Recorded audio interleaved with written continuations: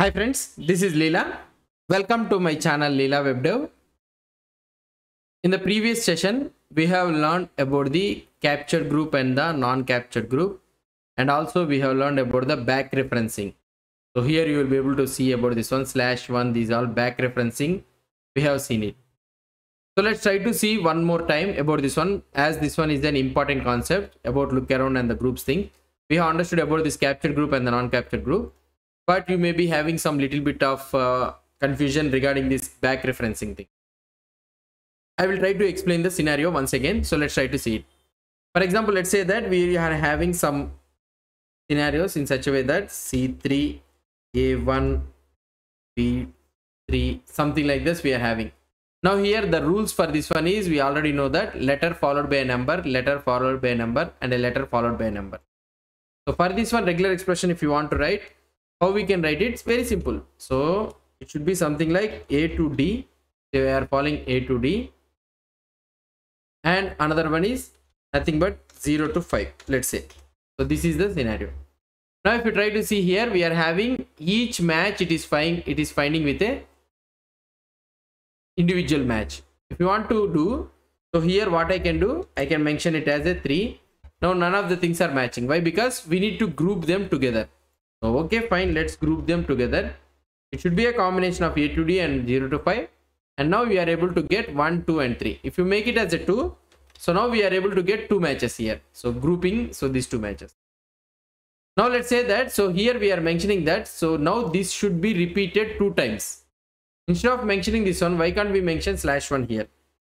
If you mention slash one here so this is not the scenario. Now this the matching is not appearing why? Because here slash 1 means the grouping. So this is the first group. So we are trying to take the first group here essentially here the scenario is it will not copy the pattern. Okay it will not copy the pattern second time. But instead of this one what it will try to do is the text what it is matching be, be, because of this pattern it will copy that one. So that means the text that matching is the a5 for this one. And if you try to have same a5 here see now you are able to get a match so this is the thing i want to explain you. Slash 1 means the back referencing of this one. So it will not check with the pattern. It will check with the text that actually matched with this pattern. So this is the thing i want to explain you clearly clearly. And here so mentioning this one and mentioning this one is different. This is the thing i want to explain. Let's say that i am having an html element. Okay this is a strong tag. Let's try to mention it. And here i will be closing it with a strong tag okay? And here uh, let's say i'm also having an italic tag. Let's write some right? Yeah. so now here we are having a strong tag and an i tag. So now i want to find these elements. So how can i find this one? Let's try to write the regular expression for this one. So we have already seen about the greedy nature and the lazy nature how to find this one i will try to show you about this one back referencing thing. Now first it should start with anchor link and here the scenario is so whatever the thing it is starting it should end it with here. So that means the common scenario is so here this one with a closing angle bracket and here this one with a closing angle bracket should match. Here also the same thing. So let's try to do the type of scenario. So here we are able to see that strong with a closing angle and here the strong with a closing angle it should match and here whatever the text it may contain it, it, it can contain. It's not a problem. So let's try to write it. First we are trying to write open angle bracket. And here whatever may be the text we can have. Okay? So let's try to take it as slash w. Okay? One or more. So i can mention it as like this. And it should be a like this. Okay? So let's try to group it this one. So i am trying to group this one. Okay? So it can be a word one or more and here i am trying to make it as a closing tag and making this one as a one group.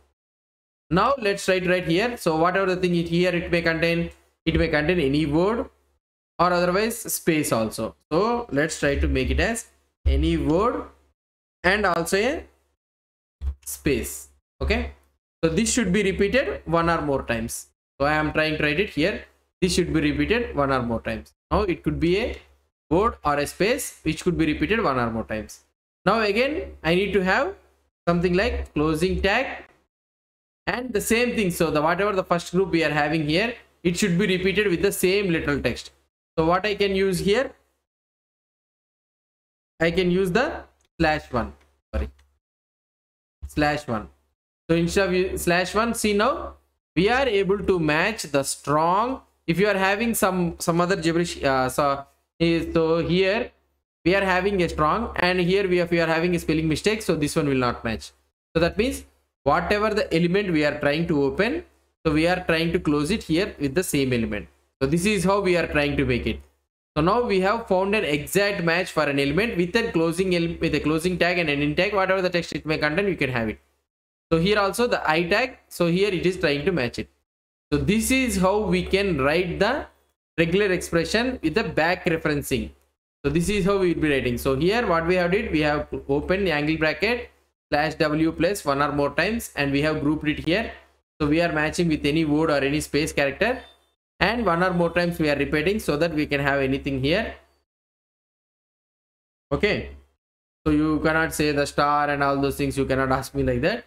So or otherwise we can use the period operator or anything like so let's keep it like this. Okay let's keep it as simple thing so if you tell that you, you it will be having star uh, special characters like like this. So these things will not match you know right? Slash w means it will match anything. So now so the so now here we are closing with an uh, angle brackets like this and we are repeating this one. So we are trying to learn about the back character thing. That is the thing i want to explain. You. so this is what about the back referencing of this one. So this is very important concept you need to learn this important concept that back referencing the groups. We have learned about the captured groups and the non-captured groups.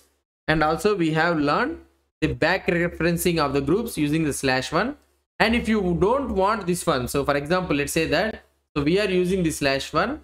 And if you use something like question mark colon here see now the match has went away. So the match is not for so the there is no match here. Why? Because so now we are making a group here and but we are telling that it is a non-captured group. So that means it cannot be captured using slash one or something like that. So if you want a if you want a group that should not be a non-captured then you can mention question mark colon so that you cannot reference that one using like this back referencing. So if you want to reference that one back referencing means you can use something like this. So you can use a captured group. So by default it is a captured group. You can use it something like this so that you can use it with the reference slash one or slash two anything. So second group third group like this you can use it. So right now we have only one group that is nothing but a first group.